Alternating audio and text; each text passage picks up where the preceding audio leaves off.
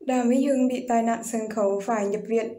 Mr. Đàm chia sẻ, năm nay là năm tuổi nên anh khá suy rèo, dù đã hết sức cẩn thận Vừa qua, nam ca sĩ được mời hát ở một quán bar nổi tiếng tại thành phố Cảng Hải Phòng nhưng không may gặp sự cố đổ máu. Thiết kế sân khấu như một cỗ máy với các bánh răng nhọn đã khiến Đàm Vĩnh Hưng bị rách hai bên ở đầu trong khi đang biểu diễn một ca khúc sôi động trong vũ đoàn. Hiện vết thương của tôi đã được xử lý, không phải khâu mũi nào mà chỉ cạo tóc và băng lại cho màu lành, Mr. Đàm nói.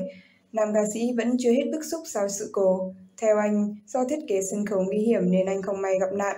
Tôi không hiểu họ trang trí treo tường. Tôi không hiểu họ trang trí theo trường phái gì, nhìn chẳng ra sao, trông chỉ giống một cỗ máy đồng hồ cũ kỹ với các bánh răng treo lơ lửng, thấp lè tè ngay trên sân khấu. Ca sĩ, vũ công hay MC muốn lên sân khấu phải chui qua cái mô hình như máy chém này. Tôi xui xẻo nên bị thương, máu cứ thế tuôn ra, Mr. Đàm kể lại vụ việc. Bị rách ra đầu, máu chảy nhiều nhưng Đàm Vĩnh Hưng đã suy nghĩ nhanh và quyết định cố gồng mình hát tiếp cho xong tiết mục.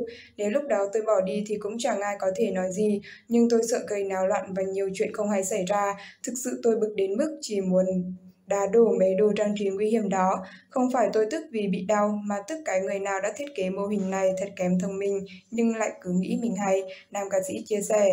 Đàm Vĩnh Hưng cho rằng câu nói sinh nghề từ nghiệp rất đúng. Ban đầu anh không muốn kể lại chuyện này, nhưng biết có dấu các fan và người thân vì chương trình có nhiều khán giả tới xem nên quyết định nói ra.